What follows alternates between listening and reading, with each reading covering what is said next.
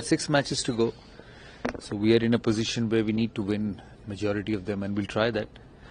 Uh, in the last three games, we won two, lost one. So it's been a bit of a stop-start, but uh, you know, in sport, you know, any team has the capability of winning all six, five out of six.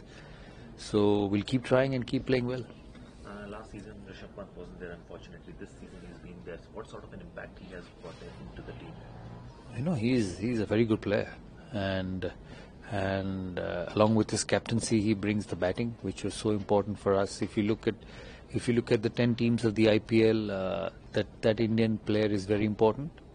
Whether it's uh, Rishabh for us, whether it's MSD for for Chennai or Rohit Hardik for Bombay, Shubman for Gujarat, that that international Indian player actually binds the team together and I think uh, you know he's, he's batted very well. He's kept very well for us, and and it has made us stronger.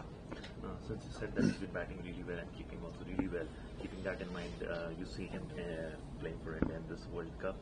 I see him playing for India, of course. Uh, he's he's such a special player, and uh, and uh, and I hope uh, I hope the selectors consider him for the World Cup, which I'm sure they will. And I wish him all the best once he gets goes to the West Indies in America.